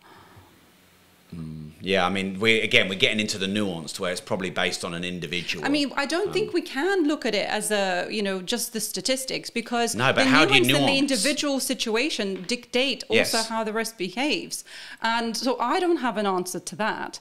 I do believe that if it's a transgender man should not go into female sports. Yeah, I, I do believe that agree. because I mean, how, do, how did that even the happen? advantage of having testosterone in your body you gives you an advantage over Strength a female hormones. So that is not a category that they can compete in. If Agreed. they go into men's sports, you know, is there a it's a public thing? Is it it's different to go into a private space, which is a bathroom where you could potentially be in danger. Mm. I think those two things are very different. Yeah, I, yeah, that they are different, and the sports one is easy for me, which yeah. sounds like it is for you. It, um, it, it is for me because it's an advan- it's a physical advantage, and the reason why we separate men and women is because men do because have because men and women are different. They are different. and it's different. okay. I just said men and women are different. They are. It's okay. We should not judge a woman by a man's standards, and we should not judge a man by a woman's standards. But we are judging. Well, that's the by, problem then. By, by that's the problem then. It is. It is. Yeah, and uh, what do know, you think about feminism? Oh, Um, define feminism. The belief that men and women deserve equality, or as you called it, equity. I'm going to use those words interchangeably. I don't believe that men and women should have equality because we are different. I believe we should have equity where our differences are honoured and then individually those skills and traits that we have are very different are maximized. And I would use an analogy of the school system. So if you ask me what I think about the school system, I think it's pretty shit. Mm-hmm. And I think we're taught a load of general shit we don't need. And then when the geniuses pops up in all of us because we're all a genius in some way. In mo- most mainstream schools, it, it, it doesn't get noticed. What I would say in school is, you know, we need to learn maths and English and things like that. But then let's find a way that we can bring out the individual genius. And then when we find the individual genius, let's get rid of all the friction and let's let them go for it and let's let them become themselves. And let's not judge them. Mm-hmm on because you know you've got people who apparently got learning difficulties, but they're fucking great at selling. You know, they're selling on like mo- most entrepreneurs are dyslexic. You know, for example. Is that a fact? Yeah, well, a lot no. Uh, no, a lot of entrepreneurs I know, famously people like Richard Branson, my mm. friend Neville Wright, are hideously dyslexic. If you're shit in the classroom, you're probably good on the playground. Mm. You know, you've got good. I actually like so the, the, I watched a little bit of the Jordan Peterson interview that you did with him, and I think he brilliantly put people in terms of his five personality traits yes. and entrepreneurs and that kind of like artistic, creative, mm. and you know when you're dyslexic, you can't rely on your conscientiousness no. or you know ability to be good with detail. Yeah, you, have you've, got so to find out who you are, mm. and then unleash that genius. And school is a bit homogenized and mm. you know blanket and, and, broad. And in a way, society is is a bit like that. It's not well, really it's honouring. trying to put people into very small categories. That's what I believe. So the category of you're a masculine man, that means that's good. You're a feminine woman, that means that's good. And everything else in between is kind of like, yeah. well, we don't understand it. We're afraid of it. But like money, like we don't understand it. We no. kind of afraid. We don't want to talk about it. And the same, you know, relating to the education system, where we try to fit everybody into the same mold. Sit at a classroom desk desk, you know, mm. parrot fashion learn and don't move. And like that mm. is not, you know, ADHD is on the rise. Well, why? Because these people need to have physical activity. Like, to be honest, we all do. Mm. And so creating these very narrow view of what we're supposed to be doing, in my opinion, is what's creating the whole problem in the first place. But um, so, would you consider yourself a feminist? I would consider myself. I've never really. I don't like labels. I don't like labeling myself, um, because I, I like the fluidity and the freedom of. Because I think it's a real strength to be able to change your opinion, and I think it's a real strength to be able to have discourse in a respectful way, even if you don't agree. And hopefully, you'll feel that that's how this discussion has been in you can tell me at the end. So as soon as I label myself, I brand myself something, and then I don't have that fluidity. So I've never really thought about labeling myself. If I if I were to start putting some labels on myself, I'll, because you're the first person that's asked, I'm a valuist. What is that? I don't know. I've just made it up. okay. Well, what? It, so okay, are you, I believe, are you just picking something out of the air, no, or does it mean something? No, I'm giving you, you a, an exclusive scoop. Oh my god, you're a valuist. What well, is it? How do we join? Because I, I believe we all have latent value. You're smart in areas I'm not. I've read and researched in areas you haven't. Our gentlemen here the same. And I believe if we could honour everyone's individuality, which is not easy because we have to put them in boxes male, female, you know, left, right, because that's easy. Um, but if we were able to somehow give people the fundamentals that they need and the foundation to find their own value and uniqueness and strengths. And then society rewarded that because it often doesn't. And then you found how to be the most valuable human you can as a drummer or as an artist or as a podcaster. I, that's what I am. And that's why I probably might like capitalism. I mean, we don't, we're not really in a capitalist society, it's some hodgepodge but I, would rather have that over communism because at least capitalism creates the free markets and the fair competition. It's not perfect. So I, am more of a, a valuist. I'm, I'm, I like enterprise. I mean, I call myself an entrepreneur. That's just because I love business and I'm passionate about business. But I'm, I'm probably more about free enterprise. Hey, what are you good at? Good, go do it. Let's get the government out of the way. Let's give you as much support as we can. Make sure. Let's make sure you're being valuable though. So we've got some rules, and let's make sure there's some competition down the road so you're not greedy. And, and, and let's play and let's see what um, you know how we can you can make your greatest impact because so if you imagine the collective society is going to be so much better if everyone's as useful as they can be mm. but the problem is society is this this sort of like very stereotyped set of rules which judges everyone because when you're judged you can't be yourself If society, well, you're this and you're that, and you've got to go over there, and you've got to be in the kitchen, and you've got to do this. And, uh, uh, no, we're all we're all different. So yeah, I'm a valuist, whatever that is. Okay. No, I'm with you in terms of putting people in just two small categories and society wanting to push you into that because it's the brain needs to evolve. The human brain needs to evolve to be able to account for the different the nuance and the different ways of being hmm. and i think that's definitely holding us back both you know when it comes to like masculinity femininity entrepreneur corporate worker hmm. you know all these these labels that you Well, kind these of get change stuck as well. This is what's hard. How old are you? 41 Okay, so I'm 44. They change. Like you're in recruitment, man. The the workplace has ch- since lockdown. I've never seen it change so much. Yeah. And and, and sometimes because the thing with money is it loves speed and it hates friction. So you know, crypto is a far, fast form of money. You know, your Apple Pay is a fast form of money. So money's always looking for the fastest and the least amount of friction. And to a certain degree, that's how society evolves. Sometimes it de-evolves back, but often it evolves like that. And so as you're going through this rapid change, which gets faster and faster, you can get left behind, and it's really hard to keep up. Um, and so this is one of the reasons why I love being an entrepreneur is because I have to watch these things. And, you know, I'm talking about things on the podcast today that, quite frankly, I didn't expect to be talking about.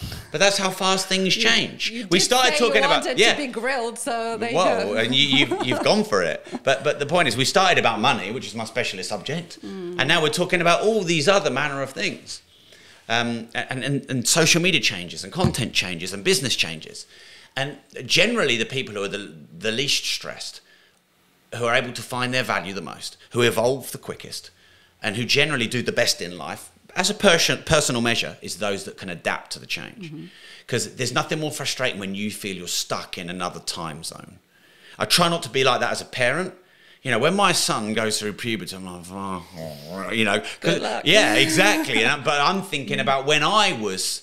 But you know, kids don't drink in the same way. They don't socialize in the same way. So I, I, I, I need to not be the guy that's stuck in the 1980s or, or 90s. And being an entrepreneur really helps you with that. Mm. One of the things I really liked what you said in your book, Money, is I can't remember how you phrased it, so bear with me. I think it was something to do with like let the money flow through you. Mm. And I really liked that idea. And that was, you know, when you gave me the 20 pounds and I was like, oh, I can't take it because my personal belief around money is that I have to deserve it. But you could have gone and taken it to a nice boutique cake shop and given Or- bought or twenty pounds worth of cakes and then gone and given those cakes away. Yeah, I could have donated it to a charity of mm. choice. Yes, but even though it's like it's it's the block of saying, well, I still need to deserve it, even if I am going to be giving it away. But I like this idea of mm. flow, of letting it flow through you, and being more conscious about where do you actually put your money, mm. right? So you can spend it on a Starbucks or you can go and spend it at your local coffee shop where you mm. talk to the owner and you know their life and their mm. kids and you've seen them all grow up. You can, you know, take this money, you can donate it to a charity, you can take this money and I don't know, send it to your relatives if you're an immigrant somewhere else. Or you can buy some good hardware equipment for your podcast. Oh, we do that. yeah, yeah, yeah. Or all it's never things. ending. That is. Yeah. That is never ending. Yeah. So no, I really like that concept. See, for money to be able to flow through you. Now, this I'm going to bring it back to your discussion about rich. So the rich are very good at getting money flowing through them. People assume greedy people they make millions and they hoard it. They actually don't. Uh, you know, they tip big. They have a private crew on their private jet and a crew on their yachts, and all those people are feeding their families. So, like, money is a paradox, dual use paradox. Everything has that, which means that if you hoard money, oh, I'm told to save. I've got to save. Oh, this is mine. No one will give you any more money to a point because you'll build that reputation. Conversely, oh, money's got to flow through me. I'll just spend it on anything I want and it will come to me. Those extremes don't work. So you have to be mindful of your money, manage it well, invest it well. But some people who are hoarders have to spend more. I'll give you an example of this. And this is weird how this has happened. But when I was 23, um, I was broke and she wasn't. She had a good job. And every time we went out, she had to pay. And it was humiliating for me. And she was cool. Um, and I always said to myself, like after we split up, I was like, I'm going to make some money and I'm going to. Anyway, I did. I made some money and I took a few grand and I put it in an envelope and I stuck it through her door. And I basically said, Thank you, but this is all the money you ever spent on me. Here it is back. Because I felt such shame. Now, that was just me.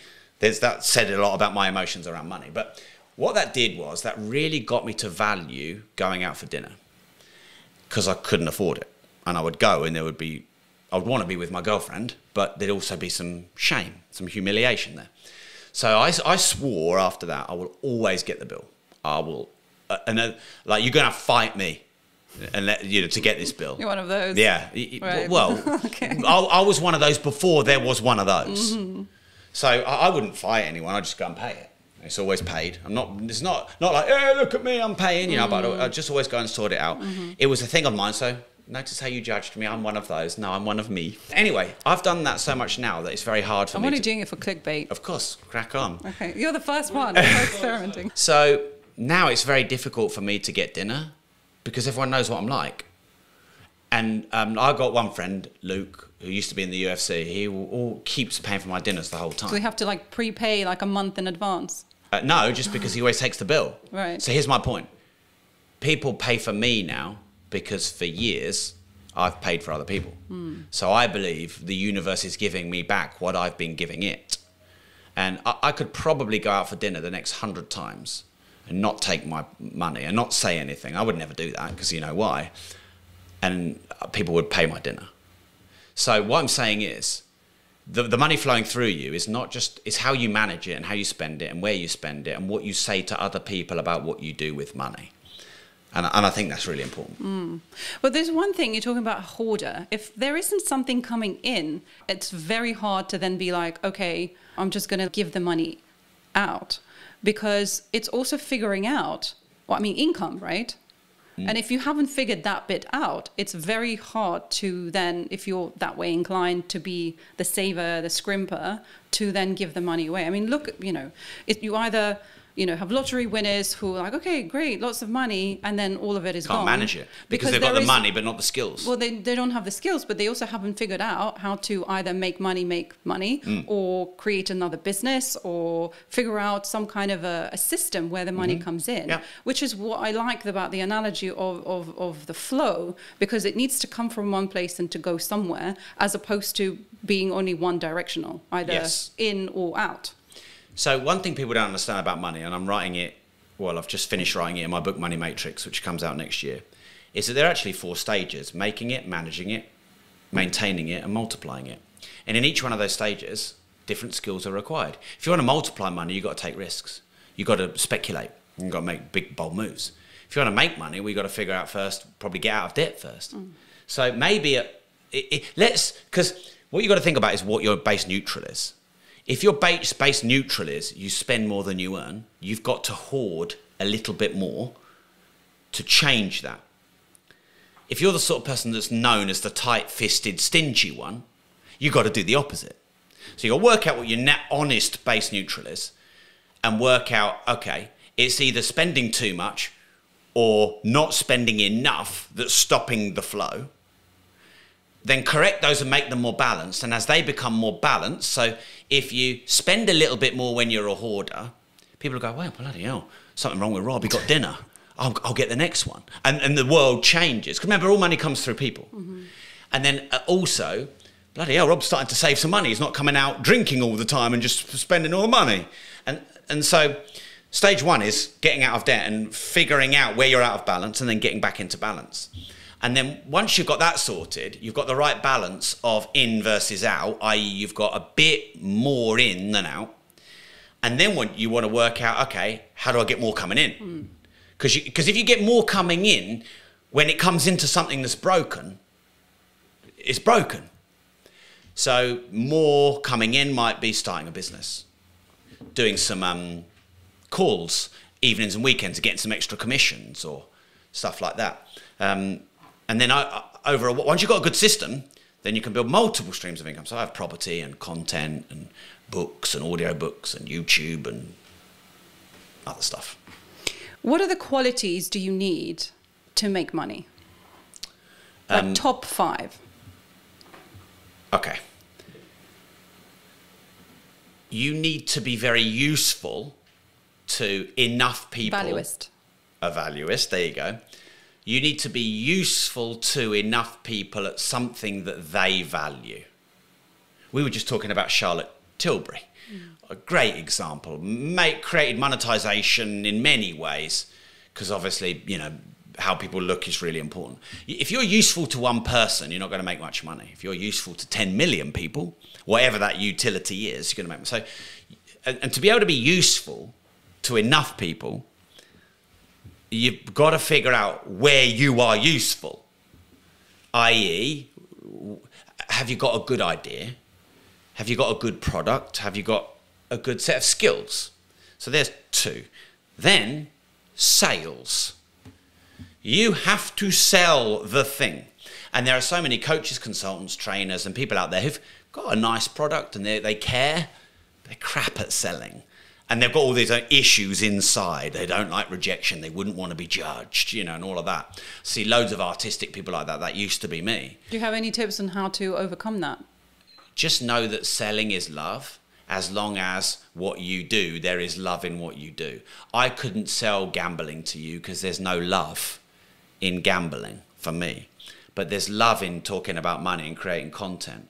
And so if there's love in what I create, I can transmute that energy to you, not in a hippie, lovey kind of way, but you know what I mean. Yeah. Love in the terms of passion and energy. And, you know, I'd be pretty confident. Like, someone wanted to come on my podcast, Harry got it sorted out. And I'm like, they need to be a sponsor. And I did a deal with him and I got him as a sponsor. I said to Harry, damn right I'm closing him because what I've got is valuable. And, you know, when it comes to money, I'm, I'm a good seller. Um, you know, I've, yeah. I've got my next book, Money Matrix, and I love it. I'm buying and, it. Yeah, everyone, needs, everyone needs to buy yeah. it. So, because w- when there's no selling, there's no love. I.e., if you're embarrassed about what you, if you, you know, you know, people say, well, you know, you got to like the product. Well, yeah, you have, of course, because if you don't, there's no love. So, love and energy and passion, that's the best way. Because I don't really see selling as selling. I see it as a, an exchange of energy you know, between us. Like, um, I'm easy to sell to. If you had a McQueen shirt, you're not selling to me. I'm buying from you. So, so then there's marketing. So selling is turning, making the transaction, but marketing is finding the person. So um, I always wanted to get married in a Tom Ford suit. I think Tom Ford is absolute. Uh, he is one. If anyone's listening and they can get me Tom Ford, like we are made. I, I will be whatever. Uh, I might even disown Andrew Tate to get Tom Ford. oh God, I know the the wife of the creative director now. I love. She came on the podcast. Tom Ford. I love Tom Ford. And do you know the way he talks about his ex partner? It's just with love. Love Tom Ford. And I always just I, I, I get when I like someone like Radiohead or Porcupine Tree or Tom Ford or McQueen or Cartier or I am a, the biggest fan. So um, I wanted to get married in a Tom Ford suit, and I got the James Bond one, the grey one, the three piece one, and I went in there and like I thought I was just going to get a suit jacket and pair of trousers, shoes. Apparently, you need a day shirt and an evening shirt. I had the tie pin, which is a few hundred quid, the tie, and then the dicky bow. And I came out with about. I went in thinking the suit back suit back then. I got married quite a while ago. Was what four, five grand? And I, I spent eleven or twelve grand he was a brilliant seller because he was passionate about Tom Ford. Me going into the shop and me knowing Tom Ford was marketing. So knowing the brand is marketing. Going in there and having that upsell, cross sell, all sell experience is sales. So if you combine those things I've just said together, I think I covered four, you can do very well in business. The, the fifth thing I would probably say is make sure you embrace the more modern medium media of finding clients podcasts, YouTube, TikTok, Threads, X, formerly known as Twitter. You know, all your clients are out on all your social media because everyone's on social media. So it's a great way to put your art out to the world by just showcasing it on social media. I mean, you're on Spotify, YouTube, iTunes. Yeah. The works. You're going to want to be on, of course, why would you not want to be on them all? Yeah. You can be seen by more people. Mm. Rob, You're a fascinating person. and So do you do you regret or are you glad? no, I'm very me on? glad. But I, I, I did think that I would be glad to have you on the show because you're open, you're vulnerable, you're passionate, you are well read, you write. I mean, anybody who can write 20 books, like, is impresses me very much. And you have a lot of genuinely not only interesting but very valuable valuable things to bring to the world. Valuist. You A heard it here first. And I've learnt about money or and relearned some of the things about money. I'm very glad that you came on the show. So thank you very much. Thanks for inviting me into your home. Yes. Yeah. And can I have that money now? Yes. There you go. Can I have it all? No. but I like that you asked. If you take the 40 quid Yeah. and then you go and pay it forward. Yes, that's what I'm planning to do Yeah. with it. Yeah. All right. All Great. right. That's my fee. Thank you. For being on the show. And thanks for having me on and inviting me into your No, home. amazing to I think have we've you. got to go now to our, to our next one, but it's been Yeah. a lot of fun. No, thank you. You've been listening to Anatomy of a Leader podcast. I'm your host, Maria Hvorostovsky. If you haven't already, please follow and subscribe this podcast, and I'll see you in the next episode.